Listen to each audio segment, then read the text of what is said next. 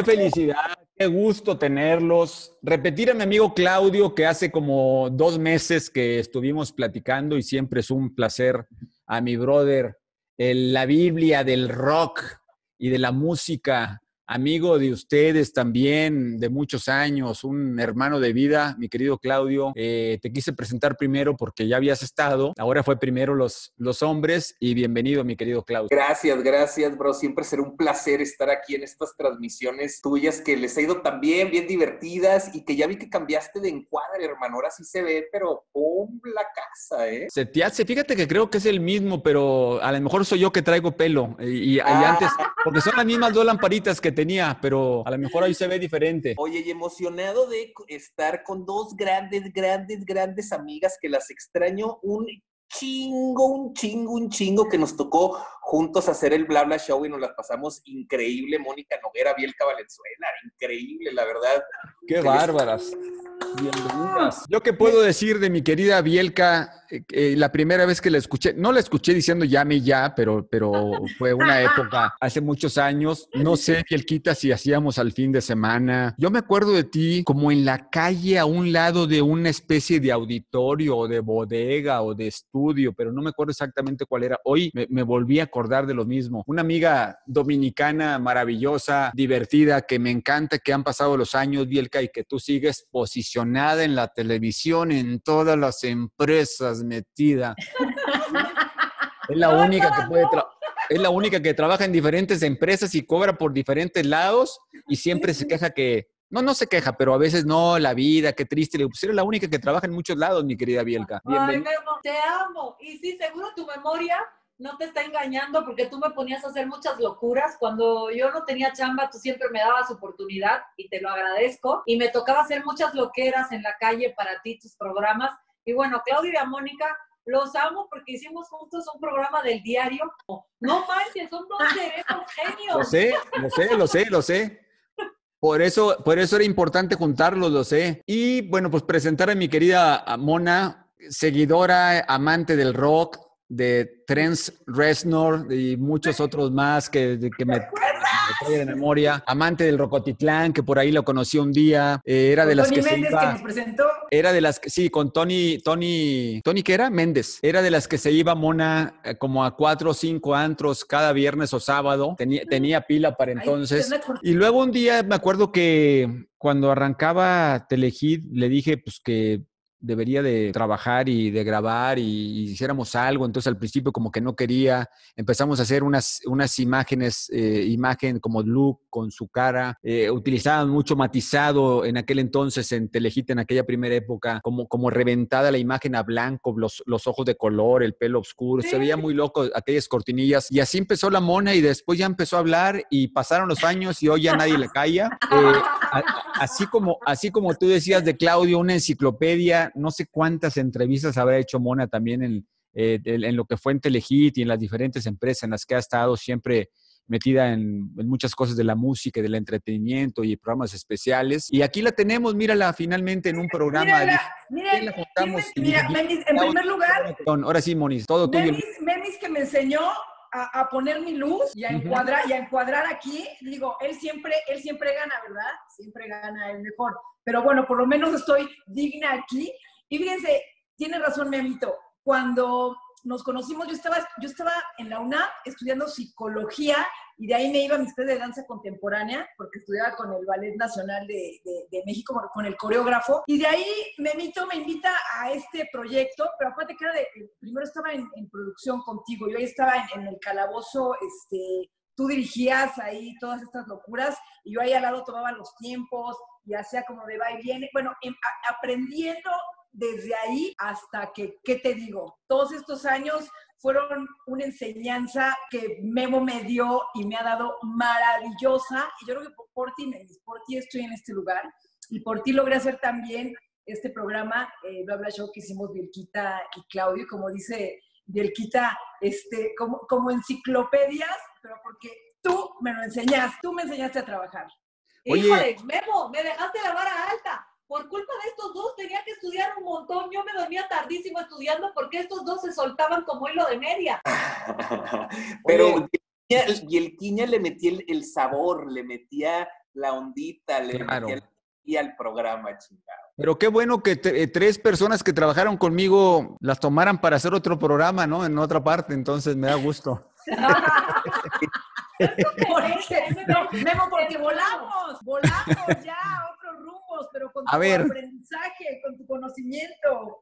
¿Qué quieren hacer? ¿De qué quieren hablar? ¿Quieren hablar de anécdotas? ¿Quieren entrevistarse unos a otros? ¿Quieren aventar preguntas? ¿Quién quiere empezar? Ustedes decidan. Fíjate Yo que, primero- mira, a tú, tú, tú, Clau, adelante. Yo quiero hacerle uno- primero un- una pregunta a las dos, a Mona y a, y a Bielka, que a ellas les ha tocado vivir la pandemia con los foros abiertos, ¿no? Y, y- y, pues a mí me ha tocado estar aquí encerrado en mi depa, de repente estar saliendo, a ti Memo te ha tocado también estar en tu casa y de repente saliendo, pero a ellas les ha estado tocando ir casi diario a los foros. ¿Cómo ha sido? ¿Hay miedo, no hay miedo? ¿Hay paranoia, no hay paranoia? ¿Cómo es un foro de televisión a la mitad de una pandemia?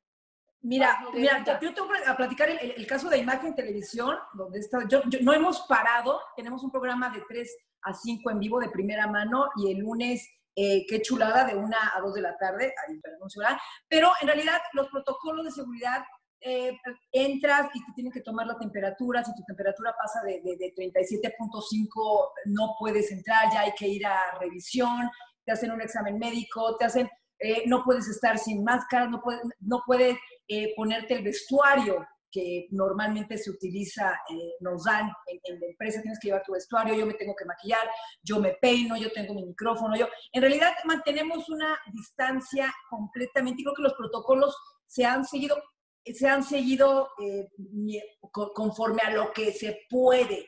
Ahora, Pero al Mona, final de cuentas estás aún trabajando. Aún así, con eso que estás diciendo, ha habido un chingo de contagiados en imagen, güey. Pues fíjate que se contagiaron, a ver, eh, Sierra, Roberto Carlo y Esteban Arce, que Esteban Arce, bueno, está en radio, que está mucho más lejos de nosotros, pero hasta ahí en nuestra producción, eh, pues hemos estado libres de todo esto. Bielquita, no sé cómo les ha ido por allá en, en Televisa.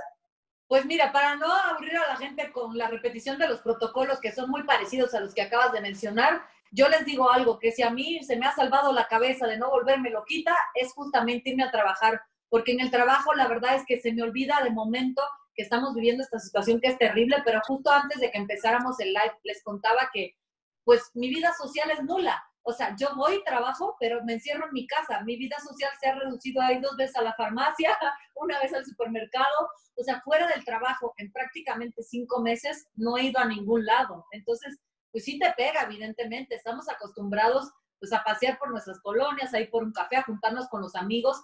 Extraño abrazar como no tienen una idea. O sea, yo soy súper de tocar, ustedes lo saben. Para mí, no poder abrazar a la gente es una tortura. Yo también Alguien, extraño. alguien te toma las fotos en las playas cuando ibas, ¿no? Mi tripié, güey. Es que dices que no haces, dices que no haces vida social ahorita, me, me- me Te imagino. Pero cuando vas a la playa alguien te toma la foto. No, Ay, fíjate, bailar, me toma la foto esta vaina. güey. Esto me toma las fotos, mi No te creo, Bielka. Pre- Pregúntale a la noguera. Pero una ¿De vez, verdad? una vez sí ¿Mi te vieron ahí en una playa, este, por ahí este, te, te agarraron, ¿eh? Los paparazzis. No, olvídense de eso. No me van a hacer caer en una trampa. Yo me llevo mi tripié, pongo mi timer y me tomo unas fotos bien chingonas como las que me tomo en la azotea, que me las tomo yo. Oigan, chicas, este, chicas, porque ya le pregunté el otro día a Claudio esto, ¿qué esperan que pase, qué esperan que pase con México, con el mundo, cuando esto se controle? ¿Qué les, ¿Qué les gustaría que pasara a nivel México, a nivel mundial? Ya cuando digan, ya podemos salir, ya hay vacuna, ya hay control y todo vuelva aparentemente a la normalidad. ¿Cómo les gustaría que fuera todo, mi querida Bielka, primero y luego Mona? Pues mira, la verdad es que en estos meses he estado en contacto con muchos pequeños empresarios que han estado luchando para sobrevivir. Me da una pena enorme que la única vez que salí a dar una vuelta por mi colonia vi tantos lugares con despedidas colgadas en sus paredes. Yo espero que la gente se recupere emocionalmente y económicamente porque creo que se han desatado también muchos ataques de ansiedad y de depresión y eso es terrible, no está tan fácil de controlar.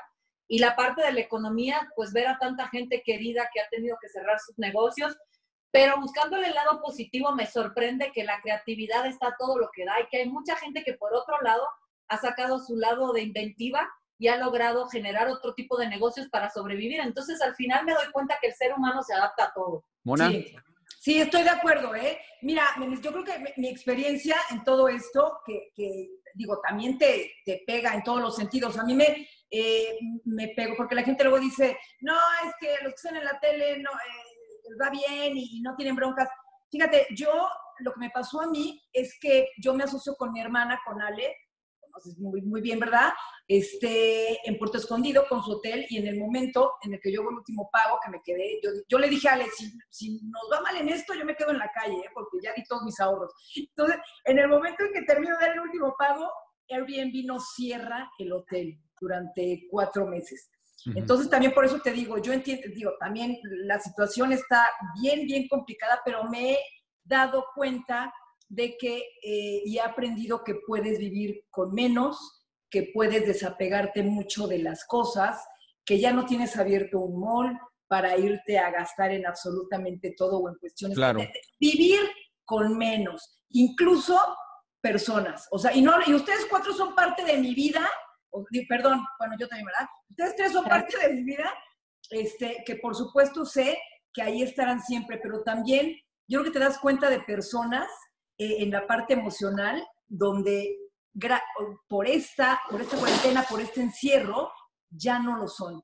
Entonces, nos damos cuenta de, de, muchas cosas. Es una tragedia lo que está pasando, obviamente, pero sí nos cambia la vida y la visión completamente. Yo creo que te vuelves también mucho más espiritual, tienes mucho más tiempo solo. Por ejemplo, tú, Menis, yo he visto, ¿no? Estás con tus hijos prácticamente, cuánto han estado juntos eh, en, la casa y en actividades, con Vika también haciendo actividades, etcétera, pero ya son un grupo muy reducido de personas con las que, pues sí, con las que estás conviviendo. Entonces, sí, no, yo creo que nos, a partir de esto nos va a cambiar mucho, nos cambió ya mucho la mentalidad y la forma en la que vivimos cada uno, ¿no?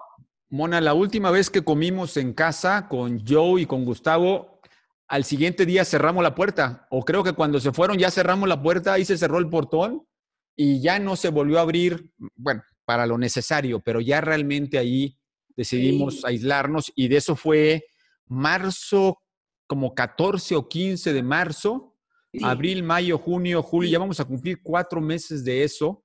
Yo que te digo, eh, a mí el, el, que me venía recuperando en febrero y que en marzo viniera esto, mucha tristeza por todo lo que pasa a nivel mundial, por tanto deceso en México, pero a mí me cayó maravillosamente bien para seguirme recuperando una.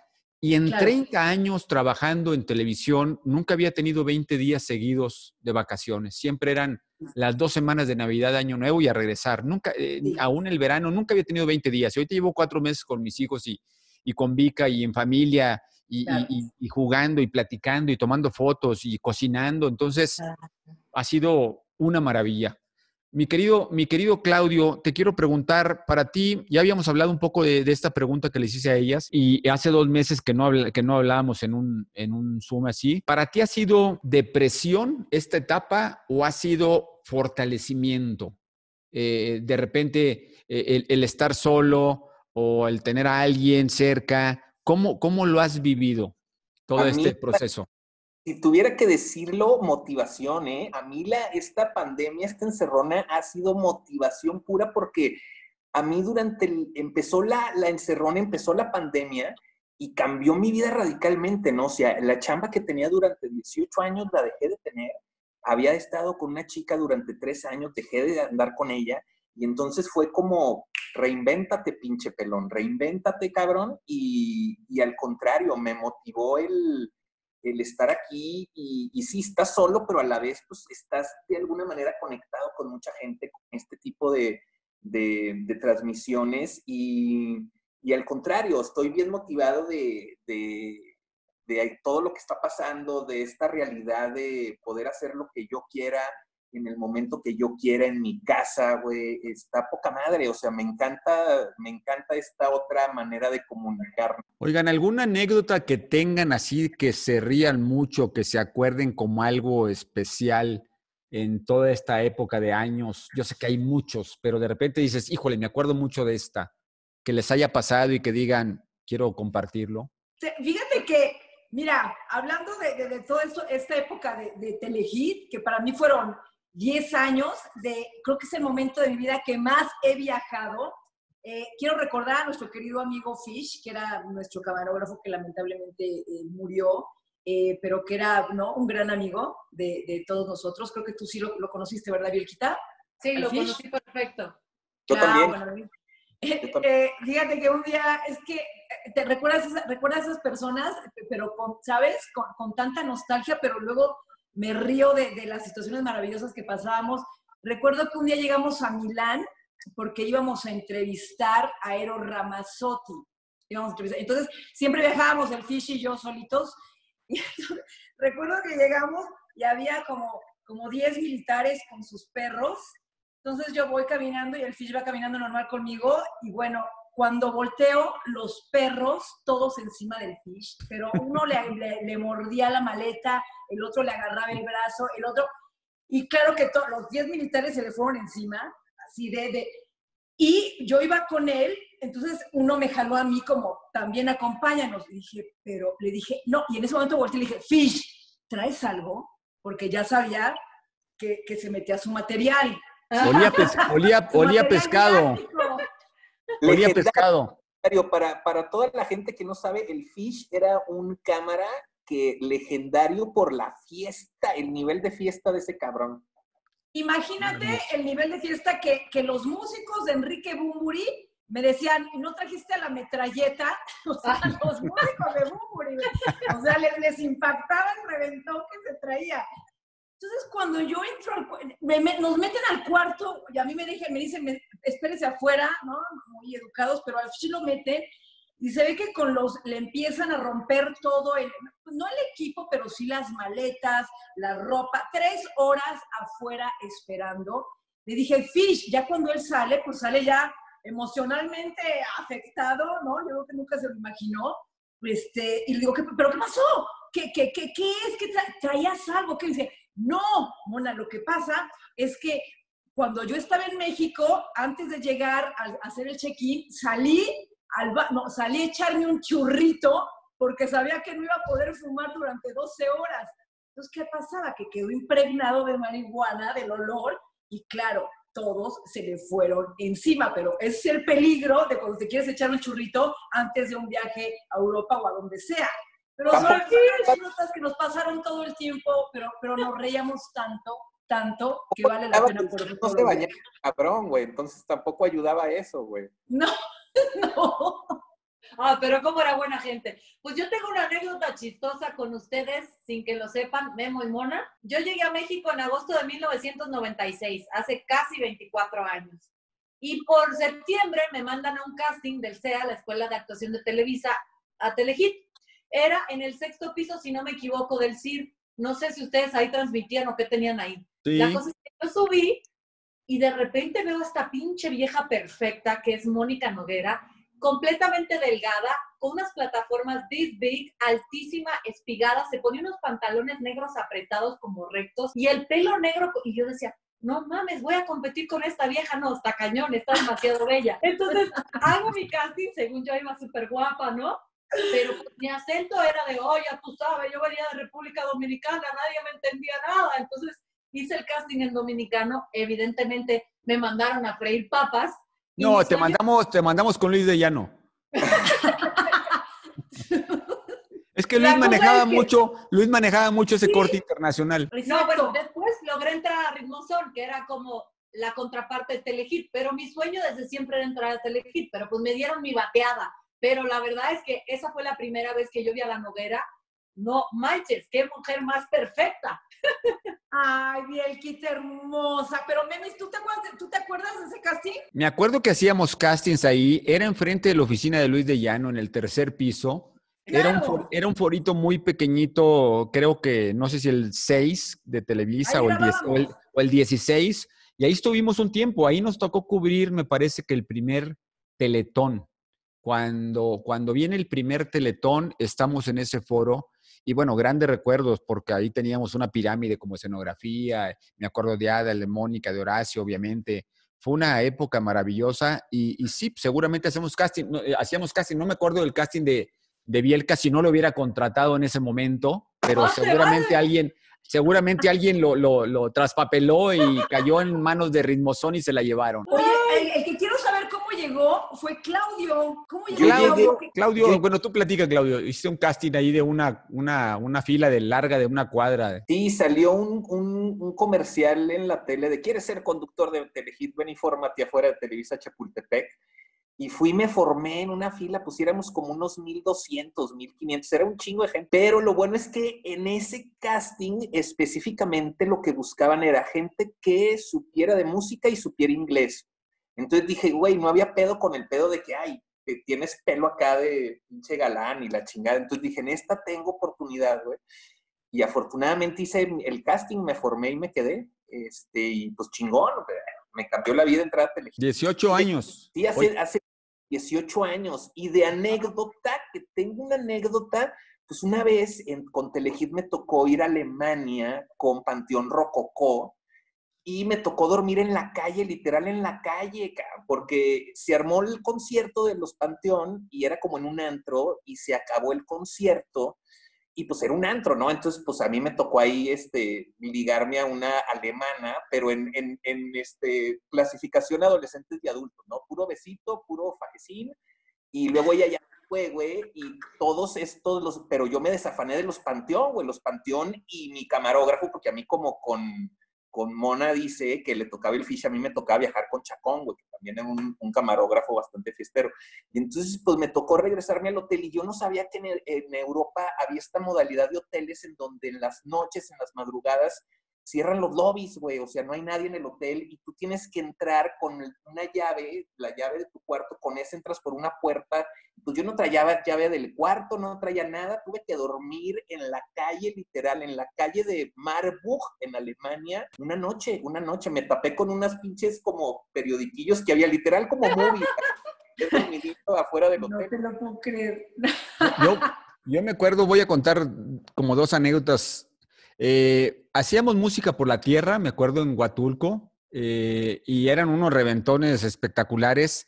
Tanto, lo malo es que al siguiente día de los reventones ponían una carrera de 5 kilómetros que teníamos que terminar corriendo todos los invitados.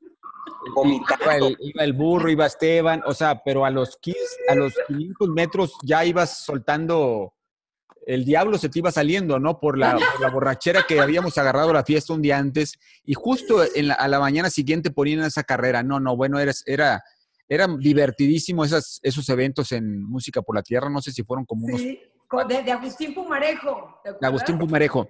Y regresando al Fish, eh, hay, hay dos que me acuerdo. Uno es muy chistoso, no me voy a meter en nombres para no, no, no, no molestar actualmente a alguien.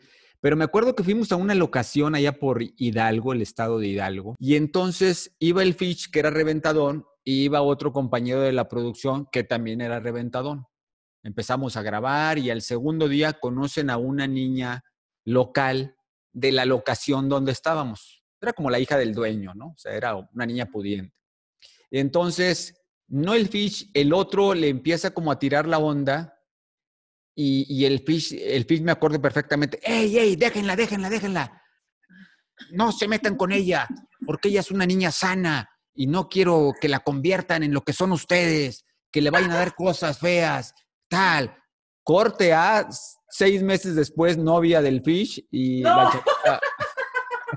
chavita, la, chavita perdida, la chavita perdida que, que había comido de, creo que de todo y este, y ese era el Fish, un tipo divertidísimo, más que un camarógrafo, era un amigo con el que te la pasabas muy bien a donde fueras de viaje, te reías todo el, todo el tiempo.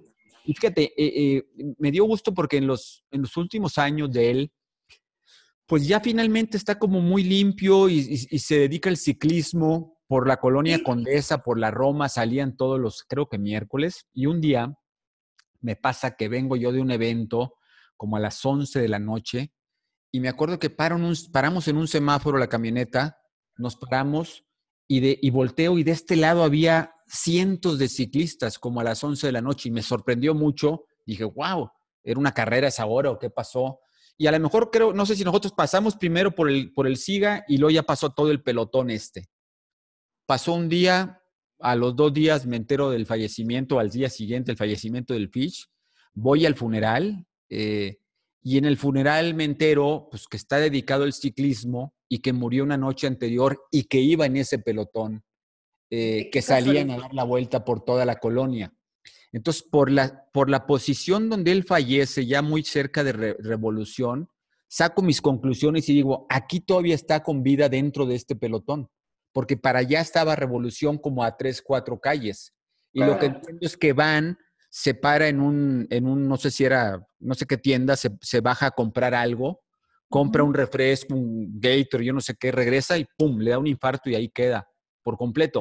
Pero entonces para mí era como, qué loco, en ese pelotón cuando están todos parados, ahí venía el Fish y tres, cuatro calles más adelante va a fallecer. Entonces son, son, son cosas muy locas que después con la información que vas juntando, aparece eso. y, y, fue esa noche que salían ellos a dar vuelta, tenían todo un club y salían a dar vuelta por toda la Roma, la Condesa. Y así es como, como fallece. Entonces dices, son de las personas que tan, tan lleno de vida, tan de diversión, de felicidad, que, que, extrañas y que no te hubiera gustado que se fuera, ¿no? Que te, que, que te dejan marcado. Oye, me acuerdo de otra, de otra anécdota de música por la tierra en, en Huatulco. Es que fueron varios años los que estuvimos, como cuántos habrán sido. Que cuatro. Es que en Huatulco fueron como tres y luego lo cambió a Cancún, creo. Cancún, ese, ajá. Ah. regresó, regresó Huatulco con música por la tierra, porque yo cuando entré todavía a mí me tocó ir como dos o tres años a Huatulco a cubrir música por la tierra, ya las últimas. Oye, pero con cuatro, con cuatro Agustín Pumarejo hizo su, su hotel y su casa y ya no volvió a hacer más, ¿no? Oye, pero me acuerdo que en una ocasión estábamos todos los conductores, hay un evento eh, eh, justamente en Cancún, en el Hard Rock, estaba por ahí Teresita Ulloa, Fermín de Control Machete, Adrianita Mute, bueno, Eugenia Cauduro, estábamos como todos los, los, conductores, también estaba Saúl, estaban los de Azul Violeta. Tú, Memo todavía no llegaba, Memo llegaba el otro día porque tenías alguna junta. Y yo me acuerdo que me dan, este, no, que la bebida, que un huracán, pues ya, ya me, tomo el huracán, no, pues tráigame otro. Al segundo huracán, voy al baño, bueno, acto, tercer acto, Fermín sacándome del baño de mujeres, así cargada, cargada, así yo desmayé, desmayada. Y pero todos, entonces ya despierto como en mi cuarto y con un doctor, ay Adriana y tal, No, no era, no era tanto que qué me había pasado, era, es que Memo llega mañana, Memo nos mata, Memo nos mata. no, no, no, yo he sido de las borracheras con dos vaso con dos tragos que me peores que me he puesto en todo. Hay que investigar qué es ese huracán para dárselo a algunos a conocidos. No, no, no, no, no. yo te voy a decir una cosa, Memo. Yo te tengo que felicitar porque de verdad tu escuela es impresionante. O sea, ellos dos son las personas más disciplinadas, estudiosas y entregadas al trabajo que he conocido en mi vida.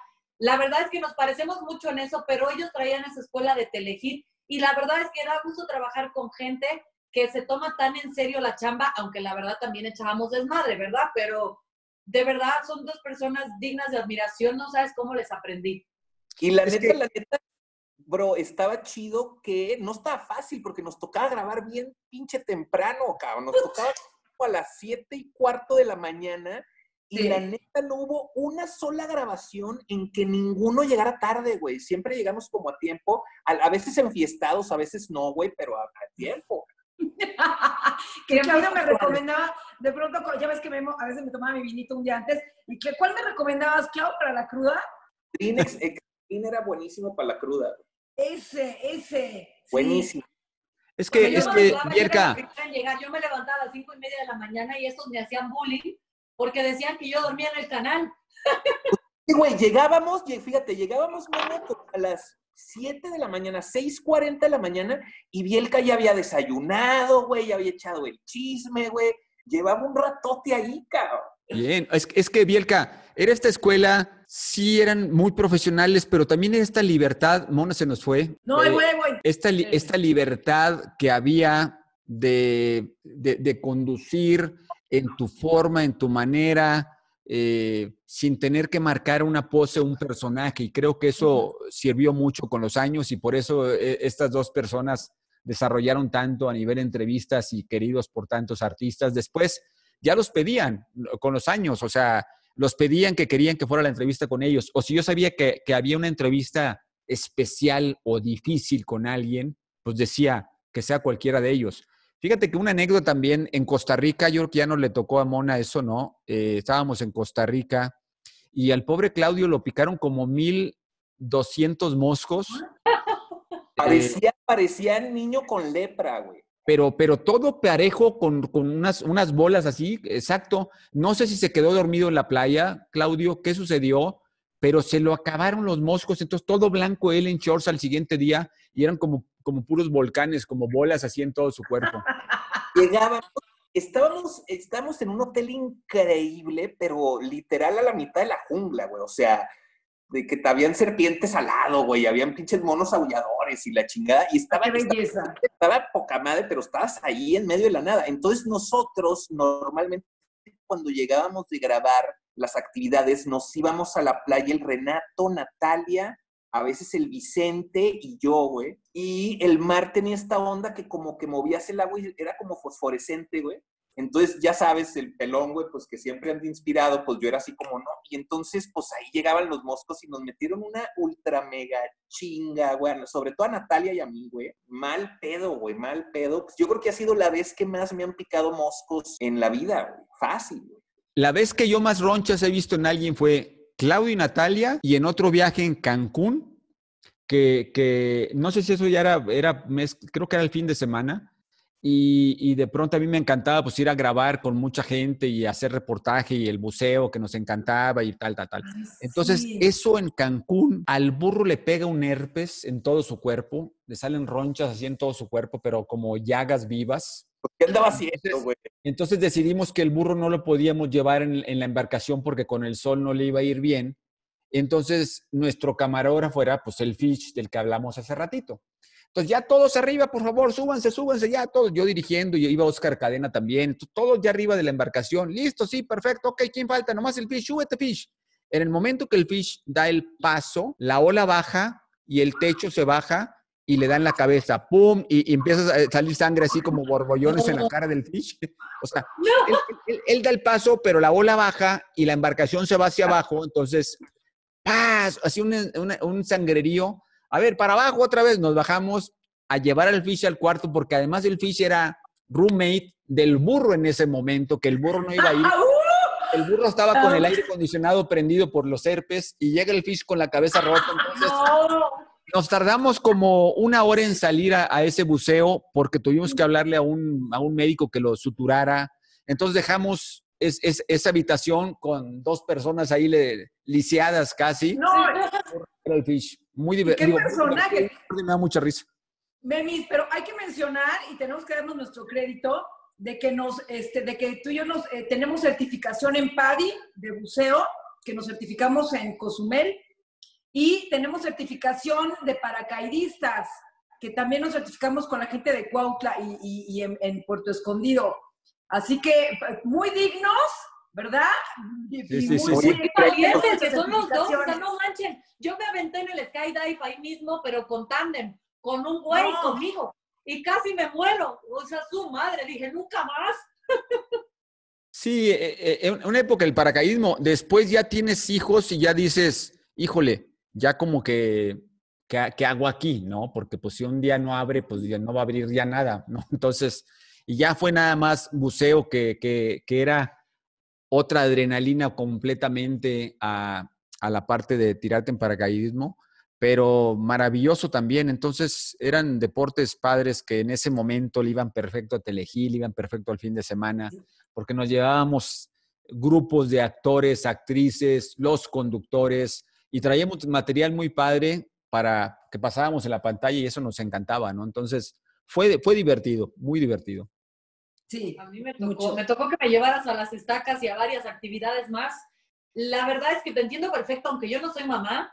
Fíjate que antes me aventaba del bungee o hacía tirolesa o me aventé del paracaídas o no sé, o tenía experiencias con animales salvajes y no lo pensaba. Pero de últimas fechas para acá, sí digo, ¿sabes qué? Qué padre que lo viví, pero neta, ya tuve como mi dosis de adrenalina y aunque nadie se quede llorando por mí si me muero, no me quiero morir así. Oye, este, Mona, el otro día preguntaba esto y me gusta preguntar, tú, si tuvieras así como señorita México para venderte y hablar bien de ti, ¿qué es lo que dirías? Estás enfrente del escenario y a ver, tienes un minuto para hablar bien de ti. ¿Qué es lo que hablarías bien de ti para, para venderte y para que hables maravillas? ¿Qué es lo que hablarías de ti? Yo hablaría de mí que, creo que vivo para ayudar a la gente que, amo, para ayudar a gente que puedo, para que, que tengo esa eh, transparencia, que tengo mucho amor por, por las personas, por la vida, por mi familia, que son poco los, los ¿no? Las, cosas negativas que manejo, mire que en realidad no. Eh, y, y, y, te podría decir que yo creo que la, la, la, la no, así un feliz, que tengo mucha paz, que tengo mucha paz en mi vida. Yo creo que eso es lo más importante de, de, de un ser humano, porque pueden llegarte cosas y tribulaciones y problemas, todo, pero, pero mientras puedas mantener eh, tu paz, eh, creo que, creo que eso es lo que a mí me ha ayudado, ¿no? Más, más, más en la vida. Y en, y en, mi trabajo también, a ser muy disciplinada, a ser muy profesional y apasionarme por mi trabajo. Soy una apasionada en mi trabajo. Y eso, por supuesto, que yo siempre lo digo, gracias a la escuela que nos diste en Telehit. Esa ha sido la respuesta de la señorita México. Ahora vamos con República Dominicana. Pero no se burlen ni me hagan bullying. Claudio y Mónica lo saben, pero a mí me da pena decirlo. Me da pena porque luego la gente lo asocia con la vanidad, pero fue un gran orgullo y un gran honor ser mi República Dominicana 1994. Me tocó representar a mi país en Miss Universo en Filipinas. Y si buscan en YouTube Parade of Nations Miss Universe 1994, me van a ver diciendo, La Vega Valley is my home, I'm Bielka Valenzuela from the Dominican Republic. claro que ahí les va.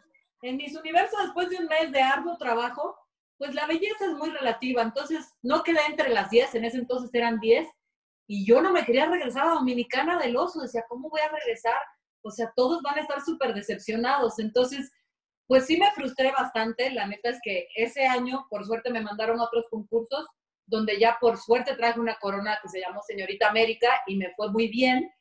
Pero gracias a eso yo empecé a trabajar en televisión. Y aunque a mí me reventaba los sesos el tema de la belleza, me cagaba andar en tacones, odiaba usar la corona, me sirvió para soltarme porque yo era muy tímida.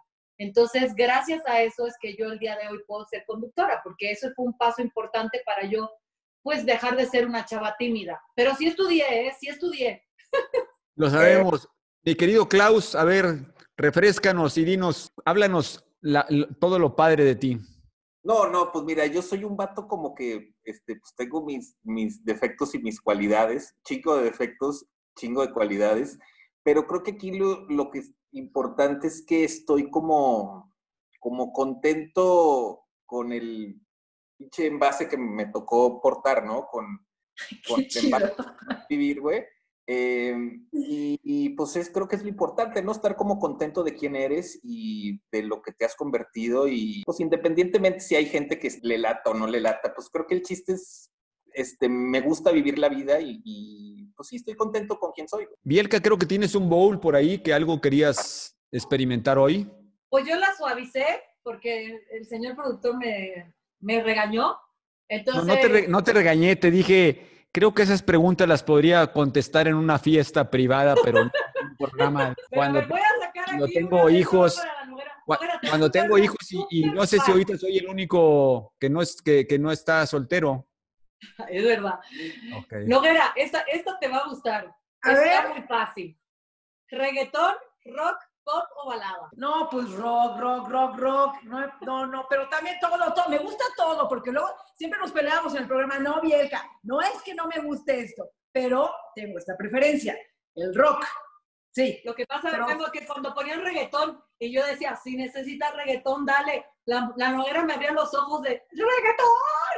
No, no, no, pero sí, no, no, pero sí me gustaba. Sí, no, me, sí, mira, me, gusta y respeto, nomás que soy más rock and rollera. Exacto, Mona, no puedes negar la cruz de tu parroquia, güey. Eres bien pinche rockera, güey.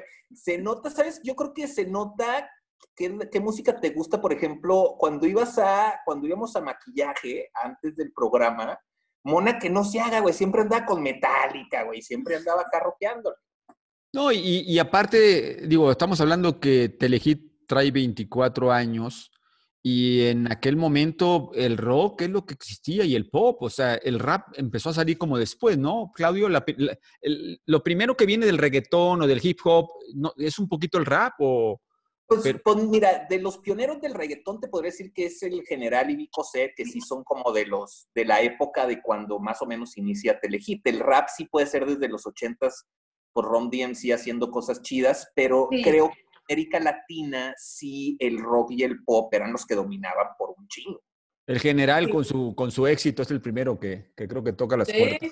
Lo dijimos un montón de veces en el programa. Pues yo, miren, como buena caribeña, yo soy barrial. A mí que me pongan mi reggaetón y yo, yo le doy con todo. Pero también me gusta, también me gusta mi baladita romántica de vez en cuando.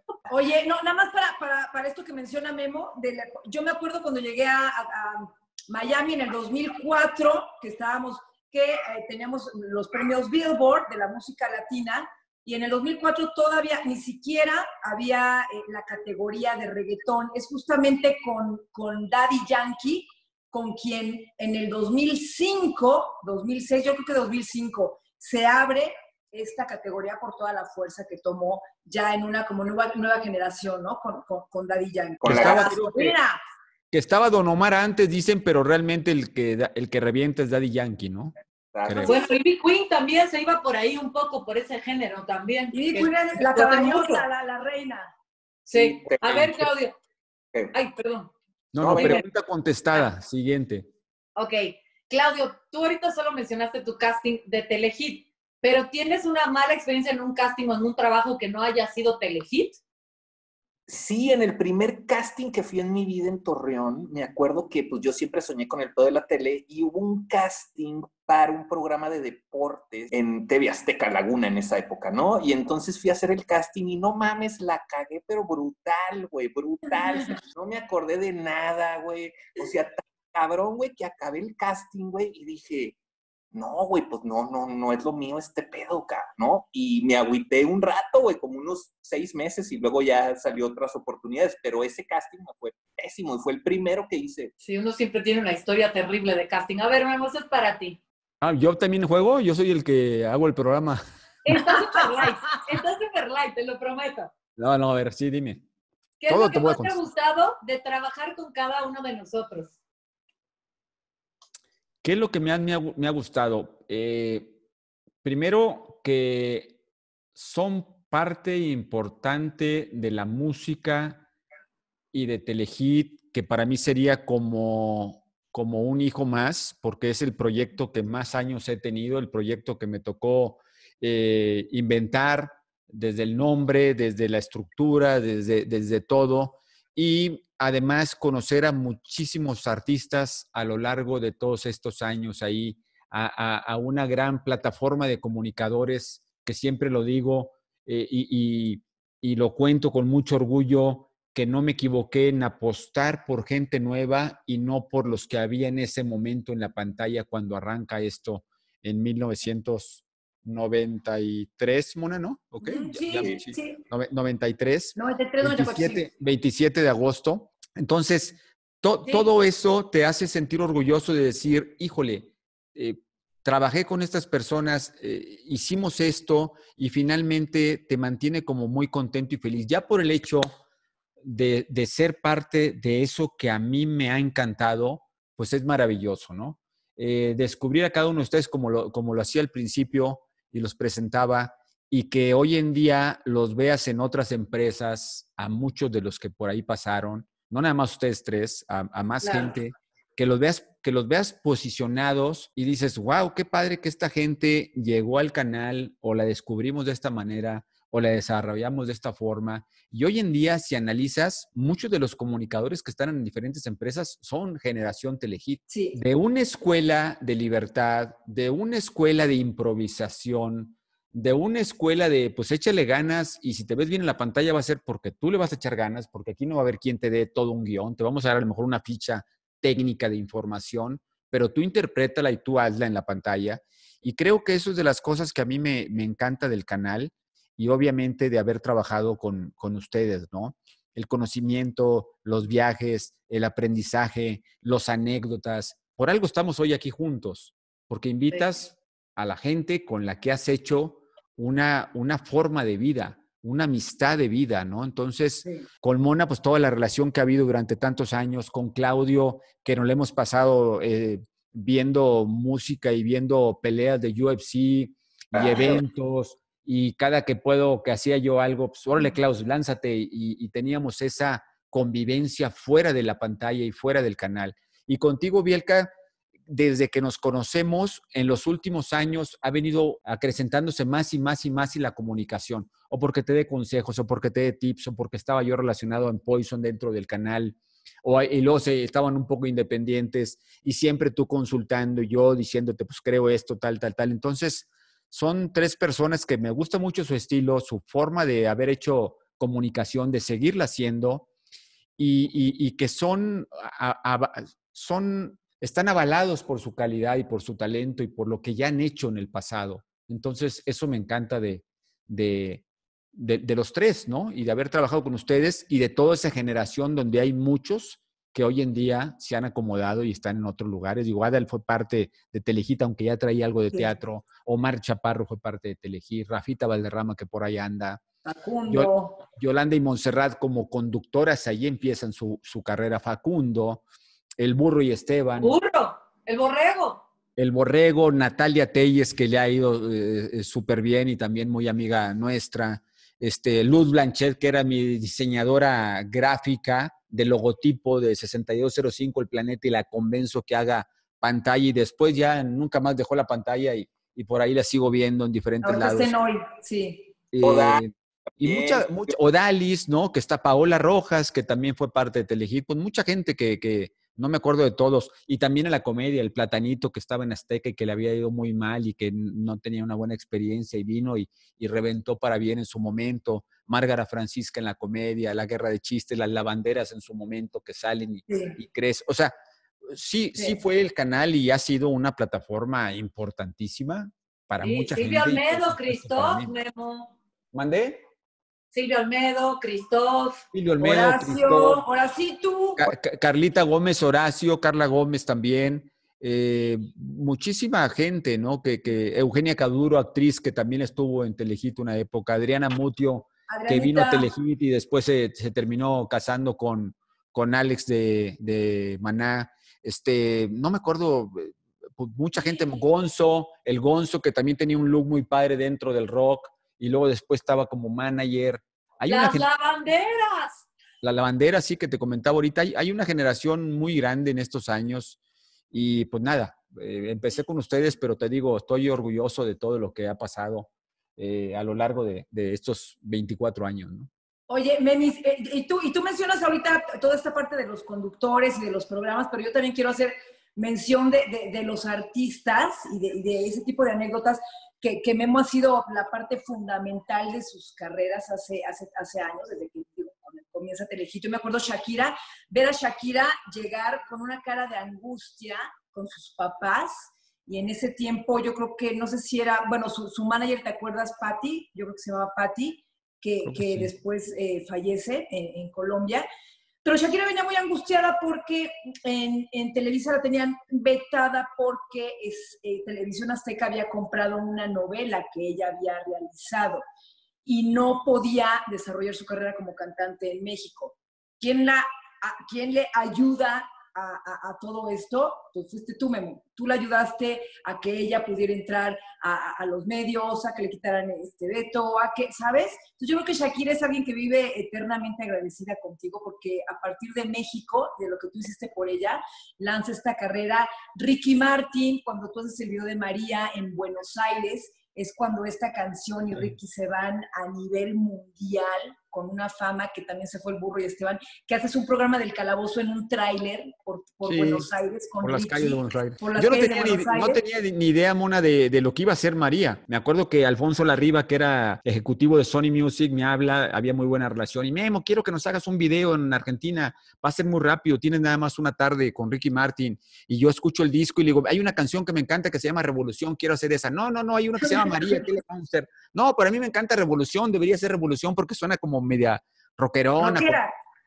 Y al final termina siendo María y, pues el video solo acompañó la grandeza de una canción compuesta creo por Robbie, Robbie Draco, ¿no? Rosa también creo que la compone.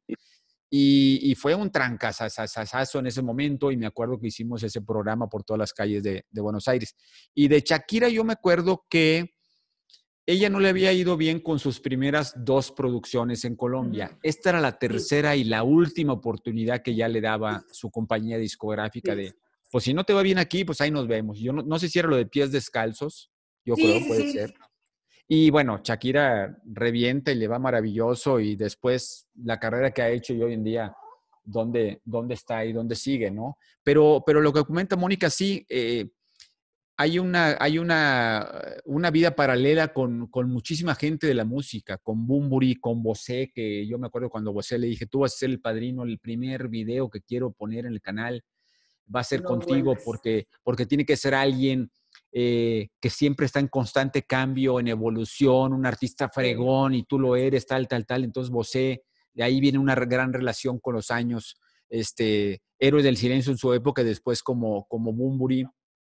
Me, acuerdo, me acuerdo el, el, regreso de Caifanes, que era histórico, que iba a regresar Caifanes y quién iba a tener las primeras cámaras, pues ahí estabas tú arriba del escenario con los Caifanes. Es que de Caifanes pasa una cosa muy chistosa. Eh, Caifanes era muy difícil al principio. Yo me acuerdo que en un café con Marusa Reyes, su manager, nos juntamos Horacio y yo en aquellos primeros años que queríamos hacer cosas con Caifanes.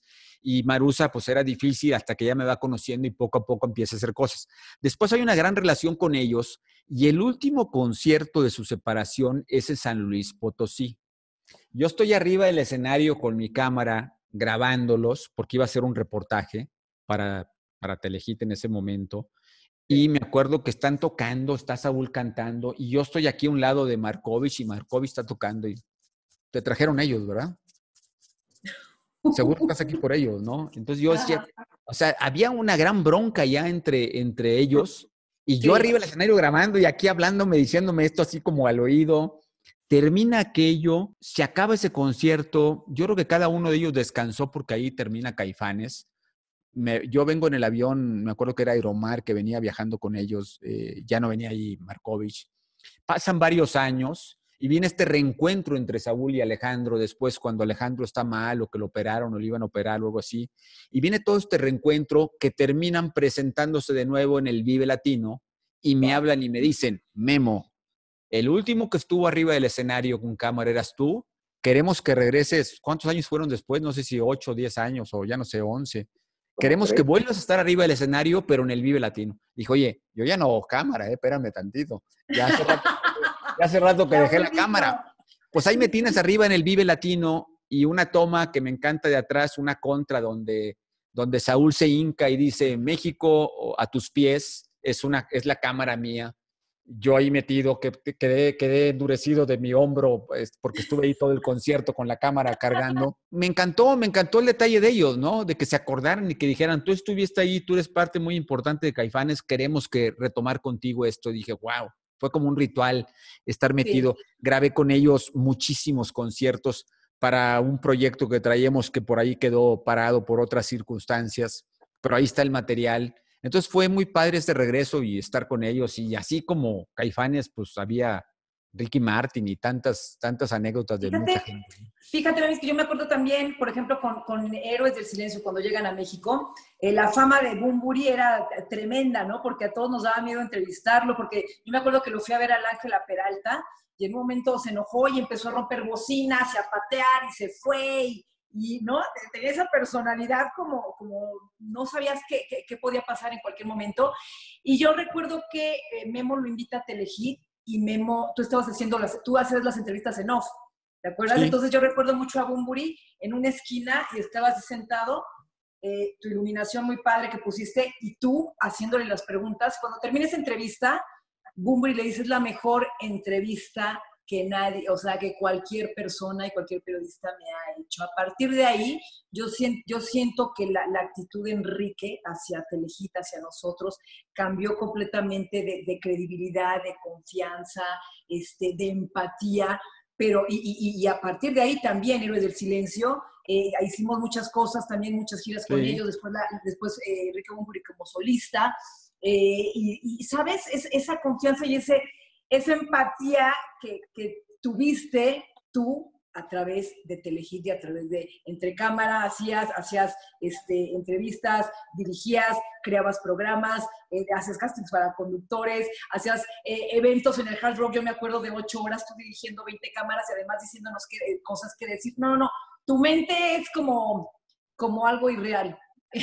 Esa, esa, esa, esa, etapa fue muy disfrutable, ¿no? Porque si eran seis horas las que hacíamos en vivo y luego esas seis horas se repetían y se repetían, entonces me tocaba estar ahí sentado y me acuerdo que al principio a Mona le, tocó porque muchas veces programábamos juntos la, la programación de videos. Toda esa primera parte era mucho pop, pero yo le llamaba mucho video novelero, que se había hecho como en dirección de cámaras y no en rollo de cine. Entonces, eh, al principio no me dejaban meter rock y, era muy sufrido el canal. Y un día me acuerdo que, eh, ejecutivos de la empresa me hablan y me dicen, ¿sabes qué? Ya nos dimos cuenta que hay un gran movimiento rock, mete tu rock. Pues esa ocasión fue festejo ese fin de semana con Caifanes, con La Maldita, eh, con Kerigma en, en, Rocotitlán, porque era como fobia, o sea, el microbito era como satanizado, me explico, no lo dejaban entrar. Nomás entraban, entraba pop de Paulina Rubio, de Lupita D'Alessio y lo que teníamos en ese momento. Entonces se enriquece mucho la pantalla y aquellos primeros años era, llegó un video nuevo y veías tú la textura que traía de cine, así fuera un grupo nuevo como Crista Gali o que era Underground o Los Prisioneros o La Ley. O sea, todo esto que iba llegando, Alex Sinte, que hace el camino con, con Daniel Gruner como director, o sea, tú veías, wow, la pantalla empezaba a florecer a nivel los videos que se empezaba a despertar esa industria en México o en Latinoamérica de, un rollo cinematográfico muy padre, así fuera en Super 8 o así fuera en 16 o así fuera en una, en una cámara 35, pero toda esa, esa época se viene y era como de, el canal empezaba de 200 videos que teníamos, hay un momento que hay mil y dos mil y dices, wow, fue, grandiosa esa primera etapa, ¿no? Yo me acuerdo que, no sé si a Bielka también le pasó que en esos inicios, pues obviamente la televisión tenía una importancia brutal que a lo mejor ahorita las nuevas generaciones no entienden los alcances que tenían, ¿no? Que te tocaba ir de viaje y pues limosinas y la chingada y acá y cómo pues se ha ido un poquito reduciendo los, los, este, presupuestos, ¿no? Presupuestos. A ver, íbamos a hacer estas entrevistas y nos pagaban los viajes y nos dejaban tres días en un hotel en Los Ángeles, en Miami, en Las Vegas, en Europa. Y tú llegabas y había un catering que te, bueno, te podías comer absolutamente cualquier cosa que te pudieras imaginar. Y luego que hacías tu entrevista todavía te llevaban a pasear, te daban viáticos, o sea, una cosa de locos que definitivamente pues sí ya no existe. Y en efecto, Claudio, o sea, las nuevas generaciones que son más youtuberas, pues no le da la importancia que le damos nosotros definitivamente a la televisión, pero la televisión persiste. No, no, persiste, persiste, pero ya no tiene eso, o sea, igual que igual lo que pasa ahorita con la música.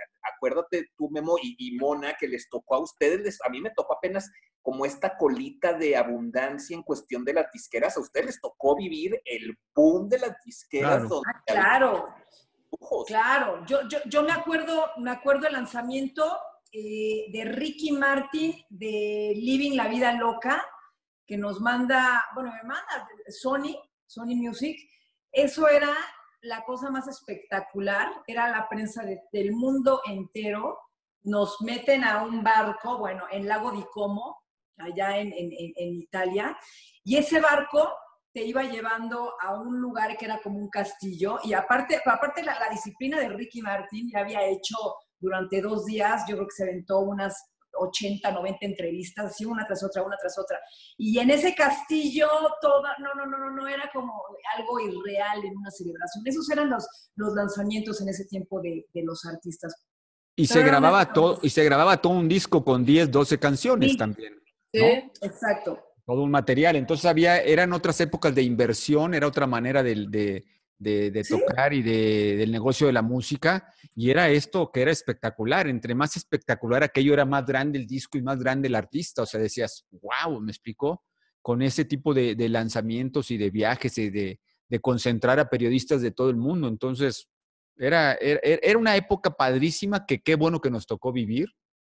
Probablemente no vaya a regresar. Hoy en día a lo mejor se hace con dos, tres personas mínimo Y Exacto. a ti, a ti Claudio, te Claro, tocaron con el viajes. celular, Memo, tú lo sabes porque tú eres bien tecnológico. Ya, o sea, Mona se fue a cubrir unas cosas del canal a Rusia y grababa con su celular. O sea, está cañón, la tecnología nos ha rebasado.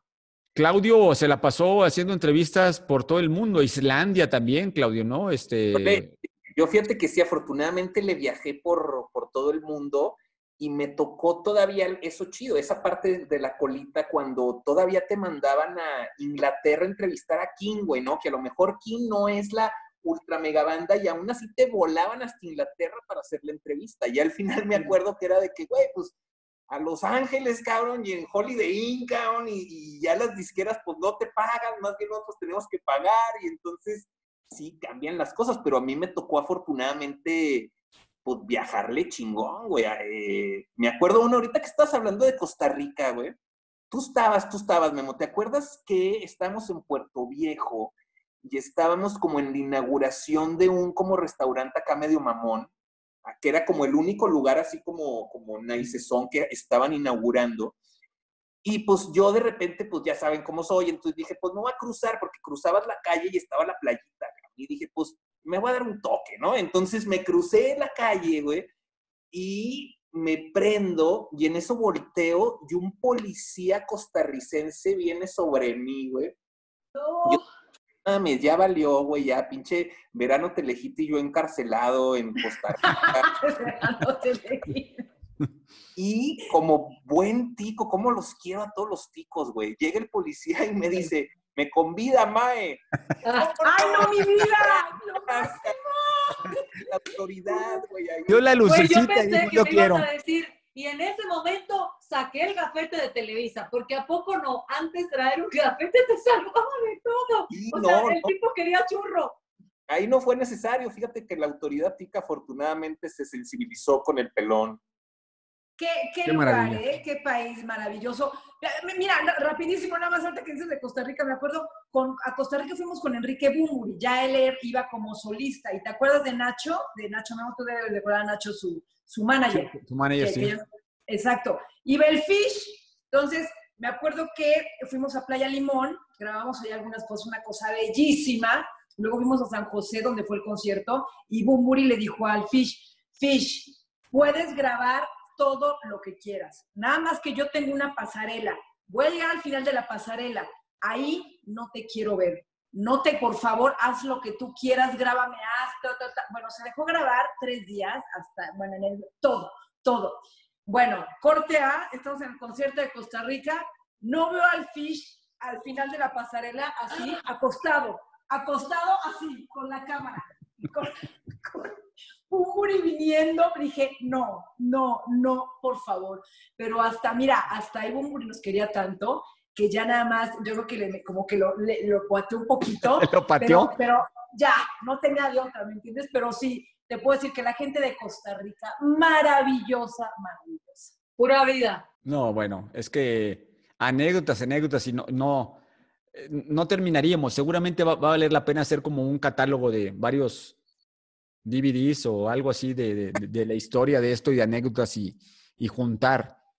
¿Ustedes qué, este, qué le dirían a los chavos? También le pregunté a Claudio la vez pasada, a los chavos que, que sueñan hoy día por estar en un espacio como el que tenemos nosotros. ¿Cuál sería el tip? ¿Cuál sería el consejo? ¿Cuál sería eh, el, advertir, el- el sugerir a la gente que dice, yo sueño con estar en el entretenimiento, con ser conductor o con ser algo que tenga que ver con lo que ellos hacen? Mi querida Bielka.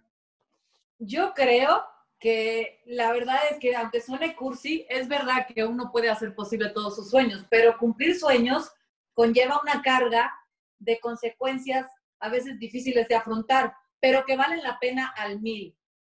O sea, nosotros todos lo sabemos. Yo dejé mi país por venir aquí, por perseguir una, una ilusión, un sueño. Para nosotros en mi país, México era Hollywood latino y era una cosa como fuera de este mundo. O sea, para mí llegar a México era irreal. Ver, no sé, a Yuri, a Roberto Gómez Bolaños, o sea, ver a gente que yo veía en la tele cuando llegaba de la escuela me producía unos nervios terribles y una emoción que no te puedo describir. Pero pasé mucho trabajo, la verdad es que me gasté mis ahorros. Yo creo que, que sí hay que ser bien administrado en esto, tratar de tener el apoyo de la familia. Eh, cada vez se ha vuelto más reducido, evidentemente las oportunidades son menores, pero la disciplina, como lo hemos dicho y lo tenemos en común los tres, yo creo que eso hace que, que, que lo hayamos logrado, que seas persistente, que la resiliencia. Eh, la verdad es que no rendirse y no tirar la toalla, como dicen en México, es básico. Siempre te vas a encontrar con gente que te va a cerrar las puertas, con personas que te van a decir que no eres bueno, que eres un pendejo, que fórmate ahí, que hay 200 veces que tú. O sea, todo nos pasó. Pero al final del camino, si tienes talento, si estudias, si eres disciplinado y si sobre todas las cosas no te rindes, es verdad que tus sueños se hacen realidad y el precio que pagaste es mínimo en relación a la sensación de que se prenda el poquito rojo de una cámara, para mí es todo. O sea, cuando yo llevo un foro de televisión, más allá de si soy famosa, si no, si me pagan, si no, el poquito de la cámara encendido me produce una sensación que no me la produce nada en esta vida. Qué maravilla. Sí, yo tengo que decir, yo sí tengo que decir que Bielka es una guerreraza, ¿eh? Guerreraza. ¿eh? Y se la rifa. Ella, durante mucho tiempo, cuando hacíamos el bla bla, me daba right a más o menos por donde yo vivía y no mames, nos ponemos a platicar y si dices, güey, es una chica bien warrior, güey, está chingón. Sí, yo creo, y, yo creo que ha, juntado lana porque te digo que cobra por diferentes lados y, no deja de trabajar. O sea, a, lo mejor nos conocemos hace, no sé, Bielka, eh, desde, desde la época del fin de semana cuando a Mona le decían sin contacto físico un conductor. Este, desde, esa época siempre has estado y has estado y has estado por ahí. Ahorita lo Pero te voy a decir la verdad, Memo. Yo nunca tuve exclusividad en todo este tiempo que llevo en México más que un año de mi vida y ese año no tuve trabajo.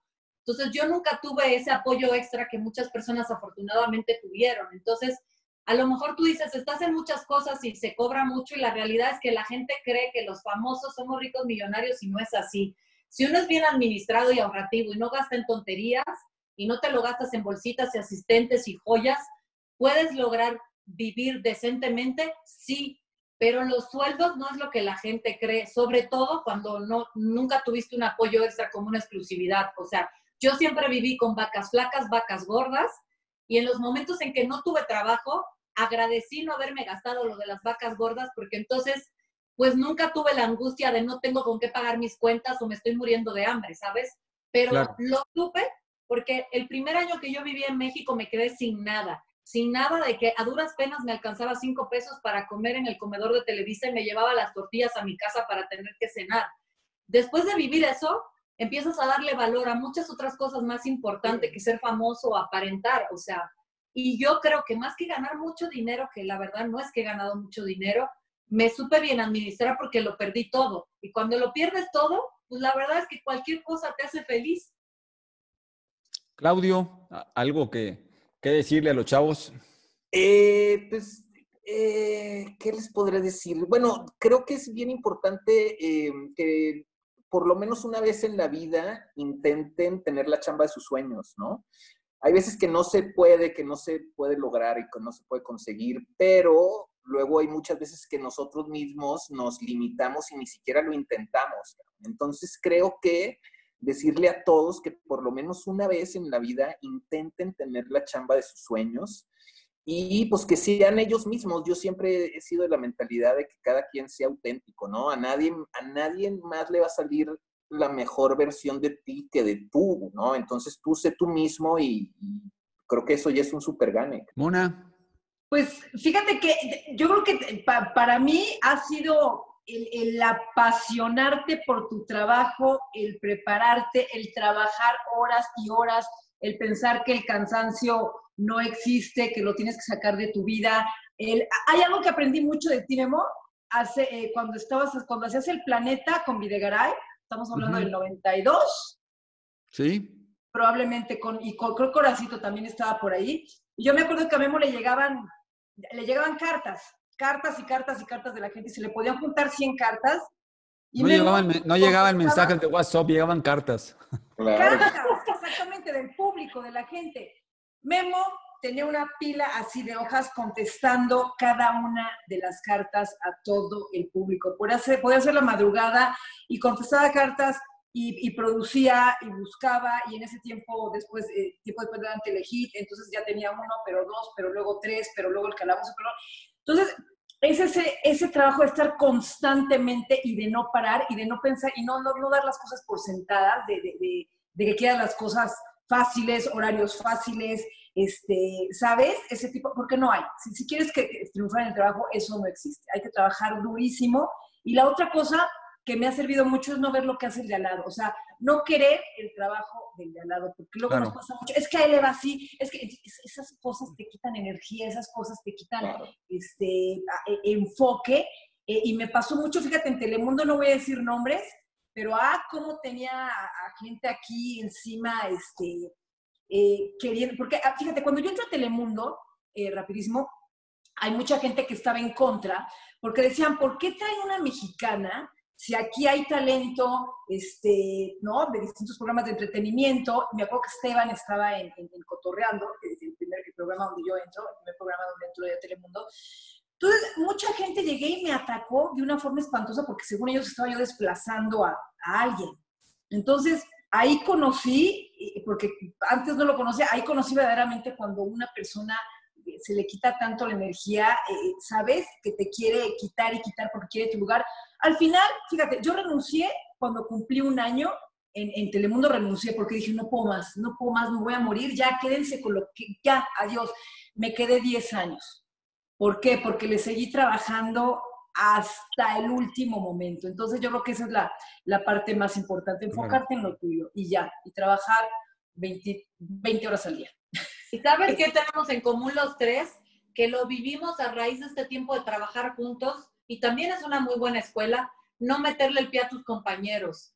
La verdad es que desgraciadamente en la televisión actual la gente es muy territorial y en vez de hacer equipo, hacen divisiones y nada más están con el pendiente o el miedo de que tú les vas a quitar su espacio y los vas a desplazar. Cuando haces equipo, el resultado de, la, de un programa es mucho mejor, el productor tiene menos dolores de cabeza y la gente verdaderamente siente cuando las tres personas que están a cuadro se llevan bien, pero además se ayudan. O sea, es bien difícil encontrar en este medio un equipo de trabajo donde la gente no te meta el pie. Y es, y es duro, pero uno aprende a hacer, como dice Mónica, callo. Pero cuando encuentras a gente como uno, que no viene con esa intención, que al contrario, si tú te ves bien, yo me veo mejor, Uf, es un placer trabajar así. Te cerruchan el piso, como se dice en alguna parte. chicos, para despedirnos, ¿algún mensaje que le quieran mandar a la gente que sigue eh, sufriéndola, viviéndola difícil en casa? Mucha gente ha perdido el trabajo, mucha gente ha perdido un familiar o un amigo conocido. Cada día viene más cerca así, eh, de, fallecidos y de gente que conocemos eh, de esta pandemia. ¿Algún mensaje para, pues, para ellos? ¿Algo que le quieran decir para, para despedirnos, mi querido Claudio? Pues que hay que tomar las precauciones adecuadas. Yo sé que de repente llega un punto cuando yo son tantos días que pues te da hueva, güey, quieres salir y dices ya, güey.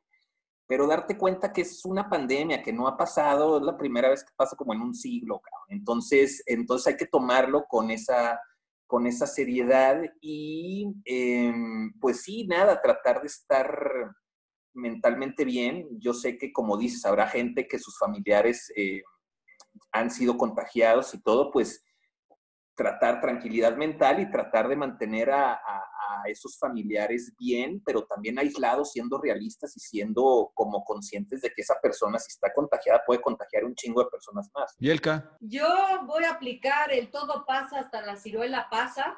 La vida es muy corta y la verdad es que sí es deprimente y trágico lo que nos está pasando y todos lo estamos viviendo cada quien a su manera y nuestro dolor no es comparable con el de nadie más porque cada quien es un caso individual. Pero yo también sé que o sea, la vida es bella con sus tonos de grises y negros y que si pues nos, nos, enfocamos nada más en la parte mala de lo que estamos viviendo con esta pandemia, pues nos va a cargar la bruja. O sea, hay mucha gente que dentro de lo triste que es, ha sacado la casta y yo admiro muchísimo a la gente que está emprendiendo y generando ideas y cosas nuevas. Lamento muchísimo a la gente que ha perdido familias con, con, con esta pandemia porque pues eso es irreparable pero nosotros seguimos aquí, le tenemos que echar todos los kilos del mundo, porque pues en un cerrar y abrir los ojos podríamos estar también contagiados nosotros. y nos habremos perdido de vivir de esta hermosa vida. Así que, pues no salir y cuidarnos y respetar a los demás, usar el cubrebocas y esperar que pronto pase ya la vacuna. Por suerte ayer eh, con, con, el estudio de Oxford en Inglaterra ya tenemos vacuna. Ojalá llegue pronto a México y a pues, echarle los kilos. Mona. Yo creo, permito, que, estas épocas han llenado de, de, mucha creatividad a la gente y vemos, por ejemplo, hemos pasado nosotros reportajes en el, en, el programa donde familias enteras están haciendo cubrebocas, los están vendiendo o están intercambiando eh, despensas por trabajo, están eh, eh, en cuestión económica, hay unos a los que nos está yendo mal, hay unos a los que nos está yendo peor, lamentablemente, incluso con, familias. Hay gente, sí, mucha gente que, ha fallecido y en más sentido pésame, porque solamente ellos saben ¿no? el, dolor que han vivido. Pero yo creo que lo más importante de todo es nuestra salud mental. nuestra salud mental tiene mucho que ver con, con con cómo te ejercitas, cómo mueves tu mente, cómo mueves tu cuerpo, con lo que te alimentas. Yo creo que esa es mucho también la base de tu estabilidad. Tienes que estar bien tú para estar bien con tus hijos y tú lo sabes bien, Emito, tú que te has estado cuidando, ¿no? Eh, con, con, esas eh, pues medidas tan, tan extremas y sabes que si tú estás bien, tu familia está bien. Así que yo creo que necesitamos fortaleza, mucha fortaleza, porque como dice Virquita, sí, esto va a pasar, pero mientras eh, es un paso bien, bien difícil y sin la fortaleza que, sin el temple, pues se nos va a complicar más. Así que, bueno, pues a trabajar en nosotros. Gracias a los, a los tres eh, por su talento, por permitirme seguir aprendiendo de ustedes, ¿no? Con, con, lo que dicen, con lo que comentan, con lo que platican, con lo que comparten. Amigos de vida, los quiero mucho y que no sea la primera plática, seguramente seguiremos haciendo y ya habrá oportunidad de reencontrarnos y festejar con una comida, con un abrazo, con una, con una fiesta, con algo. Y como dicen, ánimo para toda la gente, a echarle ganas, a seguirse cubriendo, a seguirse cuidando, ojalá ya falte menos, ¿no? Eh, escuché de, esta noticia de Oxford que ya muchos países pidieron millones de vacunas, no escuché que México pidiera, ojalá ya les esté pidiendo también. Este, y, nada, que, que, después de que el dolor llega y seguramente es para algo, ¿no? Y es por un bien, ojalá y eh, regresemos más fortalecidos, regresemos con una mejor conciencia, regresemos con menos consumismo, eh, regresemos con amor, con más amor del que, del que tenemos alrededor y esa es la clave de, de todo. Y a seguir echando ganas. Este, les mando abrazos, los quiero mucho, besos y estaremos viéndonos pronto, amigos. ¡Los adoro! Mira, mira, mira. Cuídense. Fiesta en casa de Memo, fiesta en casa de Memo, pido fiesta en casa de Memo. ya, ya la haremos pronto, a ver si, a ver si hay Super Bowl, espero que antes, pero mínimo el Super Bowl. Ay, me tienen divinito, por favor, con eso ya. Sí, Mona, porque no sé en qué momento te, te empezó a gustar más el vino tinto. Tú sabes. Amigo, que me guarden En otra plática les cuento. bueno, en una segunda. Cuídense mucho, los quiero. Bye. Bye. Bye. Bye. We'll